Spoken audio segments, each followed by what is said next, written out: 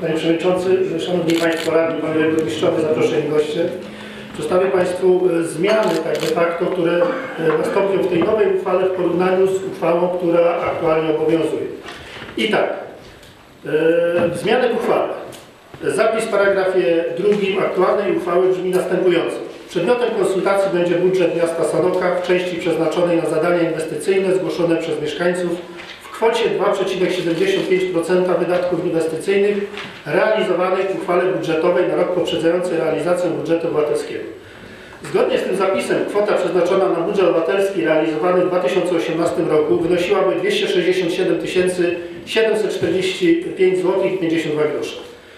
W związku z tym, że kwota budżetu obywatelskiego realizowanego w roku bieżącym, to jest 2017, wynosi 350 tysięcy, oznaczałoby to, iż kwota środki do podziału na dzielnice zostałyby zmniejszone o kwotę 82 254 zł 48 groszy. W związku z tym burmistrz miasta, mając na względzie dalszy, ale stabilny rozwój środków przeznaczonych na budżet obywatelski, proponuje dokonać zmiany paragrafu drugiej uchwały i wprowadzić zapis o brzmieniu. Przedmiotem konsultacji będzie budżet gmina miasta Sanoka w części przeznaczonej na zadania inwestycyjne zgłoszone przez mieszkańców w kwocie 420 tysięcy złotych. To jest jedna zmiana w uchwale. Zmiany w regulaminie. Tutaj dokonano analizy e, regulaminu budżetu obywatelskiego miasta Sanoka, który stanowi załącznik numer 1 do uchwały. I w regulaminie burmistrz miasta proponuje dokonanie następujących zmian. W paragrafie drugim, punkt 8 litera A, zmiana miejscu punktu do głosowania w siedzibie Urzędu Miasta z sali herbowej na pokój konferencyjny numer e, 33, to jest tutaj na drugim piętrze. To zmiana ta jest podyktowana e, uniknięciem blokowania sali herbowej poprzez e, komisję do głosowania. W paragrafie drugim, punkt 8, dodano literę C o brzmieniu. C. Instytucje miejskie. Basen kryty, Mosir, ulica Królowej Wony 4, Kasa. Miejska Biblioteka Publiczna w Sanoku, ulica Lenartowicza 2, wypożyczalnia główna. I Sanocki Dom Kultury, Kasa. E, Ta zmiana dotyczy wprowadzenia dodatkowych punktów do głosowania. Ma to na celu umożliwienie mieszkańcom miasta zwiększenia możliwości oddania głosu w formie tradycyjnej, czyli tej papierowej. Trzecia zmiana w paragrafie czwartym punkt 1. Zmiana udostępniania formularza zgłaszania propozycji zadań do budżetu obywatelskiego. Dotychczasowe brzmienie e, tego punktu to propozycja zadania do zrealizowania w danej dzielnicy w ramach budżetu obywatelskiego może zgłosić każdy mieszkaniec. Formularz zgłaszania propozycji zadań do budżetu obywatelskiego jest udostępniany na 14 dni przed terminem podanym w paragrafie 6 na stronie internetowej www.busanok.pl oraz w biurze obsługi klienta urzędu.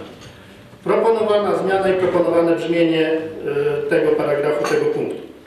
Propozycję zadania do zrealizowania w danej dzielnicy w ramach budżetu obywatelskiego może zgłosić każdy mieszkaniec. Formularz zgłaszania propozycji zadań do budżetu obywatelskiego jest udostępniany na 30 dni przed terminem podanym w paragrafie 6 na stronie internetowej www.sanok.pl oraz biurze obsługi klienta urzędu.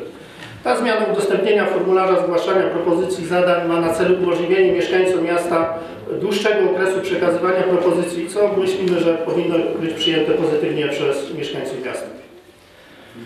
Czwarta zmiana w paragrafie 16 y, usunięto punkt trzeci o brzmieniu. Wydawanie kart do głosowania oraz możliwość ich pobierania ze strony internetowej wskazanej w ustępie drugim będzie możliwe od pierwszego dnia głosowania wymienionego w paragrafie 17. W dniu tym zostanie także uruchomiona aplikacja do głosowania elektronicznego. Jest to taka typowa zmiana techniczna. Usunięcie tego punktu jest podyktowane faktem, y, iż zapis dotyczący wydawania kart do głosowania i uruchomienia aplikacji internetowej będzie opublikowany w obwieszczeniu, o którym mowa w paragrafie 17 punkt 1. Dotyczy to właśnie obwieszczenia burmistrza miasta o dokładnym terminie do głosowania.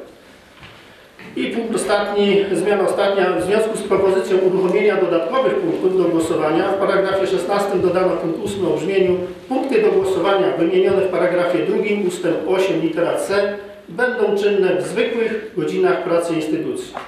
Zapis ten precyzuje ramy, czasowe oddawania kart do głosowania w tych punktach. Natomiast w związku z proponowanymi zmianami zarówno w uchwale i w regulaminie oraz kierują się, kierując się zasadami spójności uchwał, burmistrz miasta proponuje nie dokonywanie zmiany istniejącej uchwały, a uchwalenie nowej, w której znajdzie się paragraf 8 o brzmieniu.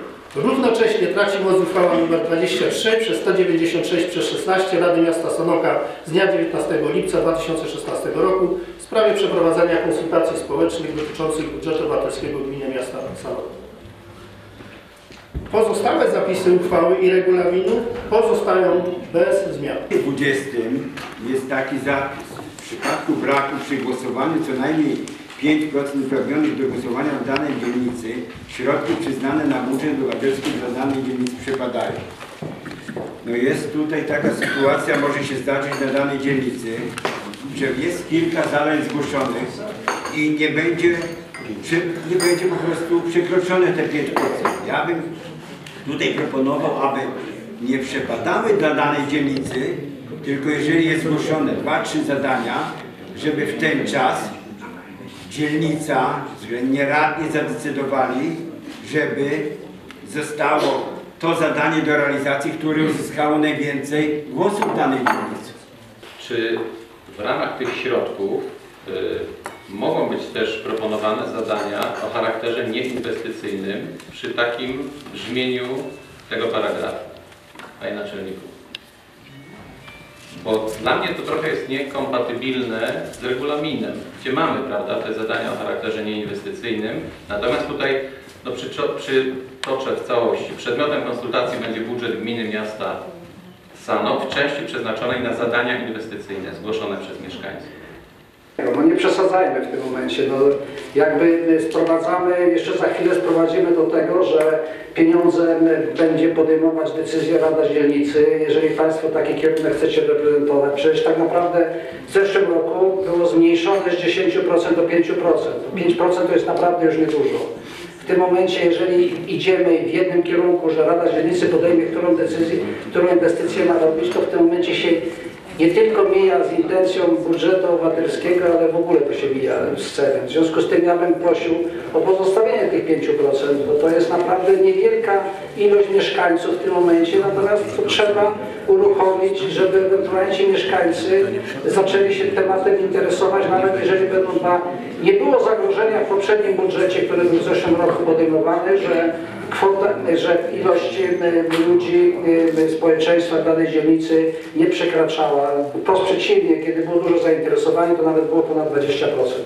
Natomiast e, tutaj e, właściwie niewiele zmieniamy, czyli zadania, które miały być do realizacji są takie same zadania inwestycyjne, tylko w tym momencie, żeby nie tworzyć jakby ciągle zmieniać kwoty tego budżetu. Proszę zauważyć, że kiedyś była kwota budżetu była 300 tysięcy pierwotna, kiedy był ten budżet taki bardziej miejski, potem była 350 tysięcy w zeszłym roku. Teraz byśmy sprowadzili do, gdzieś do 250 tysięcy, bo akurat tak to jest z tych procentów by wynikało.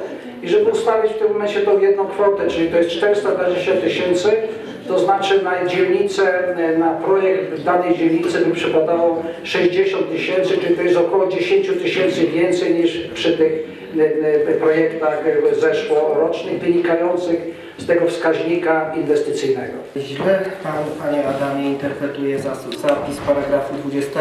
Jeśli będzie kilkanaście projektów, to sumuje się głosy oddane przez mieszkańców dzielnicy, a nie uwzględnia się tylko głosy na dany projekt zaliczone, który tam wygra. Także tu nie ma Pan racji. Natomiast myśmy po to wstawiali nawet 10% rok temu, żeby zaktywizować mieszkańców. Na Pana wniosek w tamtym roku na sesji obniżono z 10 do 5, jak dobrze pamiętam. I moim zdaniem basta. Jeśli mieszkańcy miasta nie chcą aktywni, nie chcą brać udziału w wyznaczaniu zadań inwestycyjnych, po prostu nie ma inwestycji w danej dzielnicy, widocznie nie potrzeba. Natomiast y, ja w kwestii formalnej też chciałem e, zgłosić uwagę do samego tekstu uchwały, bo jest błąd. W paragrafie 2 ustęp 8 powinien nosić podpunkty ABC, bo tak się odwołuje do nich paragraf 16 w ustępie 6, 7, 8. Uchwała jest niespójna, trzeba nanieść podpunkty ABC do paragrafu 2 ustęp 8. Nie może tak być. To jest błąd merytoryczny, ja nie wiem jak radca prawny mógł to podpisać, parafować. Nie do uchwały, do regulaminu. Do regulaminu. No ale to jest uchwała, bo załącznik numer jeden, Panie Maczku, to jest dla mnie uchwała. I tu popełnił prawnik błąd. Y, I kolejna sprawa to jeśli chodzi o Pana Macieja. To ja też rozumiem intencję pytania, pytania Pana Maćka, tu jest wyraźnie faktycznie określone zadanie inwestycyjne w paragrafie drugim. Natomiast regulamin w paragrafie trzecim mówi, że to też działania społeczno-kulturalno-oświatowe i zdrowotne o charakterze nieinwestycyjnym. Więc jest ta sprzeczność pomiędzy uchwałą a załącznikiem do uchwały i tej sprzeczności nie powinno być. I moim zdaniem to też należałoby poprawić. W tej chwili chciałbym zająć, niedługo obiecuję ten czas i przekonać Państwa do zastanowienia się nad jedną zmianą.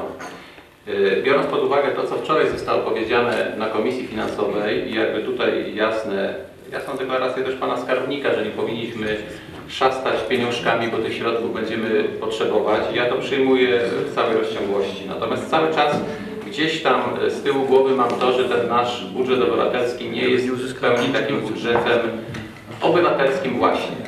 I teraz wracam do tej propozycji, żeby on będzie miał charakter dzielnicowy, ja to już akceptuję i tak to powinno zostać. Natomiast proszę Państwa, czy nie powinniśmy się zastanowić nad wprowadzeniem takiego zadania o charakterze, możliwości zgłaszania zadań o charakterze ogólnomiejskim, wydzielając z tej kwoty, tutaj narażam się pewno trochę radom dzielnic, ale trudno, to znaczy pozostawiając tą kwotę na poziomie ubiegłorocznej kwoty. Mamy po 50 tysięcy, czyli mamy 350 i 70 tysięcy do wykorzystania właśnie na takie zadania o charakterze ogólnomiejskim. Proszę Państwa, my nie mamy jakby y, sprawdzone, czy to by się przyjęło. Jeżeli nie zostało, na przykład takie wnioski by się nie pojawiły. Ja wracam do takiego wniosku dotyczącego parku. Pamiętam, że taki w ubiegłym roku był i on był bardzo sensowny i on faktycznie byłby takim zadaniem, które jakby no, dawałoby szansę później skorzystania mieszkańcom niezależnie od tego, e, z jakiej dzielnicy pochodzą. Proszę Państwa, ja chwilę wczoraj nad tym zastanawiałem się, bo jednak postanowiłem znaleźć czas. Gdybyśmy dokonali małych zmian w regulaminie, moglibyśmy to wprowadzić, zakładając też rzecz następującą, że jeżeli nie pojawiłyby się takie wnioski, to oczywiście te środki są do zagospodarowania przez dzielnicę.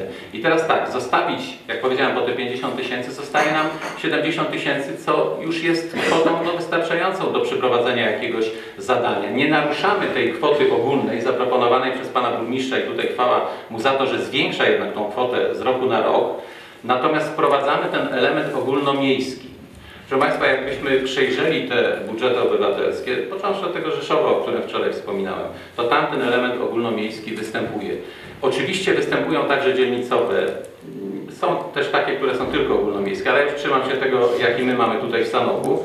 I to by trochę zrównoważyło jednak możliwość realizacji takich zadań. Ja tutaj mm, to prosiłbym o jakieś ustosunkowanie się do tego, bo jeżeli y, to miałoby no, rację jakiegoś bytu, to znaczy mógłbym tu liczyć na to, że większość radnych się jakoś do tego przychyli i również pan burmistrz, to ja przyglądając ten regulamin, tam wystarczyłoby wprowadzić w paragrafie trzecim powiedzmy trzy dodatkowe punkty odnoszące się do takiego zadania ogólnomiejskiego z prostym takim założeniem, że o tym, czy zgłoszone zadanie można ocenić jako zadanie o charakterze ogólnomiejskim, decyduje komisja po prostu.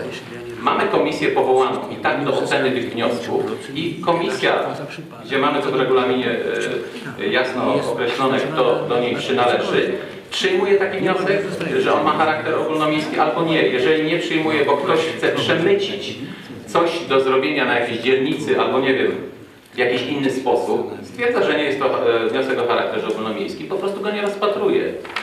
Zastanówmy się nad tym, bo mamy tak naprawdę, proszę Państwa, ostatni rok. Jeżeli tego nie zmienimy, to ten budżet zostanie taki, jaki uchwaliliśmy w lipcu, y, już do końca naszej y, kadencji.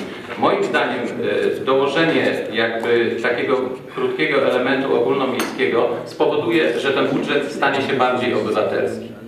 Nie wiem, czy, czy tu Pan y, Przewodniczący pozwoli na jakieś ustosunkowanie się. Ja mam, jak powiedziałem, nie mam wniosku w tej chwili, ale ten wniosek mógłbym szybko sformułować.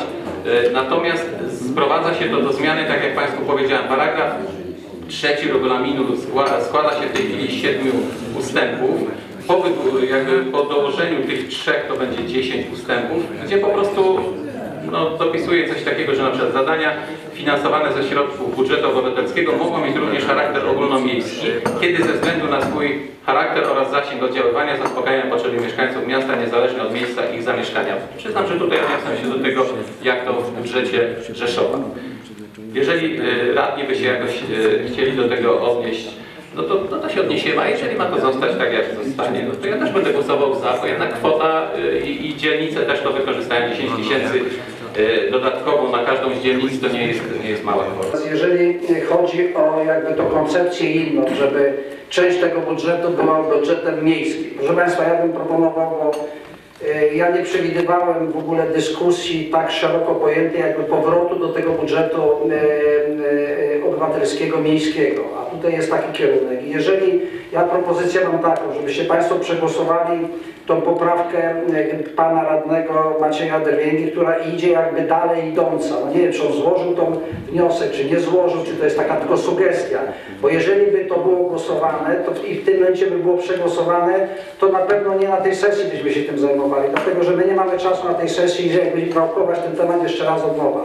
Moją in- intencją było to, żeby to była przejrzystość, żeby ewentualnie było wyjście do tego społeczeństwa, żeby ta kwota troszeczkę była zwiększona i ona jest rzeczywiście, bo jest 60 tysięcy złotych, więcej punktów, większy okres czasu w tym momencie i na pewno y, y, społeczeństwo to w poszczególnych dzieciach zauważy. Jeżeli byśmy szli w takim kierunku, to na pewno trzeba by było to y, zakończyć tą debatę w dniu dzisiejszym i na sesji w maju jakby wrócić do nowego projektu budżetu y, obywatelskiego z wydzieleniem kwoty z budżetu dzielnicowego i taka moja jest sugestia w tym temacie, bo my na to czasu nie mamy i to trzeba by było opracowywać, a w tym momencie ja chciałem przypomnieć, że mamy jeszcze drugą sesję. Natomiast jeżeli chodzi o poprawkę tutaj, którą sugeruje pan radny Janusz Baszak, jak najbardziej za.